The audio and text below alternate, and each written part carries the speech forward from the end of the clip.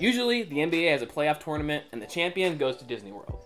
This year, everyone's going to Disney World and the champion just gets the longest stay.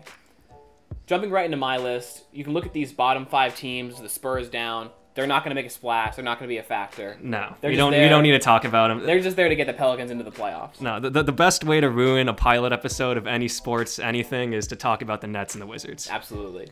So I want to jump up here all the way to the Trailblazers. They jump over the Pacers for me, who just lost Oladipo. The Blazers got Nurkic and Collins back. They're starting center, starting Huge. power forward.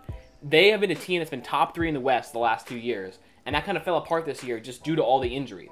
They have their team back. They were so bad defensively, and Nurkic is going to cure that. If this team can play the way they've been playing the last few years, you add Melo in there, they can actually run an offense. It's not just the Damian Lillard, CJ McCollum one-on-one show. If they can somehow make a climb and jump over the Grizzlies, there's going to be a really intense Blazers Lakers first round matchup. Moving up a little bit, the Mavericks and the Sixers and the Heat were the hardest part of this list for me. I put the Mavericks over them because we got to talk about this neutral site. The Sixers and the Heat are so much better at home than away. The Sixers were 29 and 2 at home and 10 and 24 on the road. It's because of Embiid. This guy just feeds off the energy. if Embiid can't be either letting the crowd hear him or be taunting the crowd, I don't know where his emotions are at. And if you split the difference between their two, their home and away record, if they go 500, they won't be good. We're gonna have to see how it works playing in a neutral site. The Mavericks were better on the road, so they get bumped up for me. The Rockets, Raptors, and Nuggets are my sleeper teams. The, Ra- the Rockets being the best among them. I think that their gimmicky no center offense has a decent shot to work in this weird scenario they're playing in Disagree. and we'll get to that. The Lakers through the Celtics, those top four. I feel like that's the top four you see everywhere. I don't think that that is a discrepancy. I think a big discrepancy between our two lists, though, is the Rockets, which you just brought up, who I believe have next to no shot. I mean, let's just call it what it is, man. Russell Westbrook is a playoff liability. He's a habitual first round bounce since KD left town. The guy shoots 30% from three in the playoffs, which is like the Ben Simmons effect, where, like, if your point guard can't shoot, it's going to cripple, like, a lot of modern half court offenses. You know? That's the NBA that we live in now.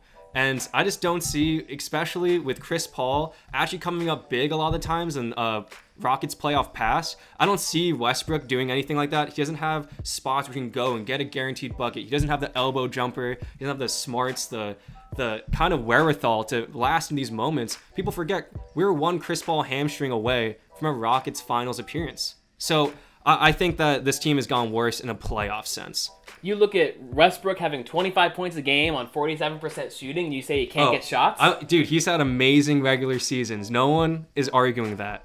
But if you get schooled by Joe Ingles and then Damian Lillard waves you goodbye, I've lost faith in you.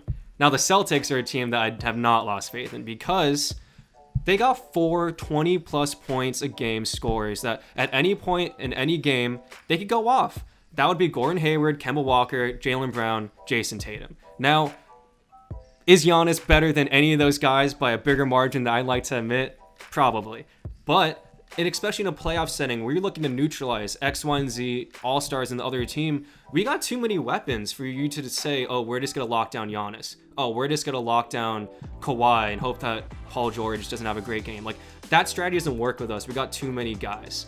Now, are we going to play consistently? Are we going to choke? Are we going to meet expectations? Kyrie isn't on this team, so I'd give us a good shot.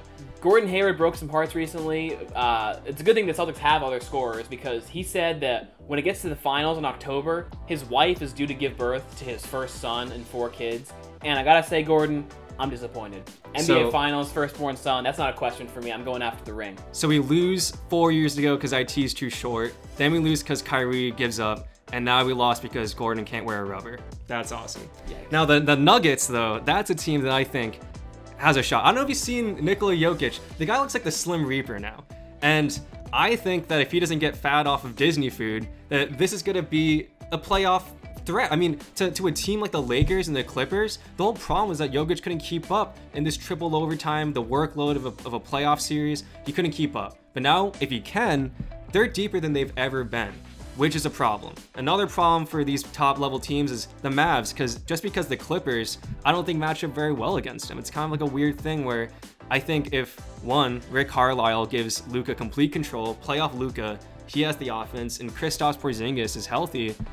I don't know if you want Kawhi and Paul George getting tuckered out, both guarding Eastern European unicorns all game. It just seems like a bad matchup. I, I don't know.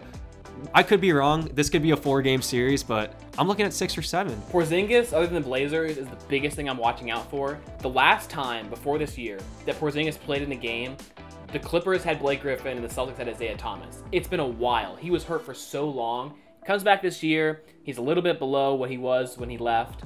And now he's basically had a whole offseason to get healthy. Coming in fresh on this team that has a chance to shock some people in this Western Conference.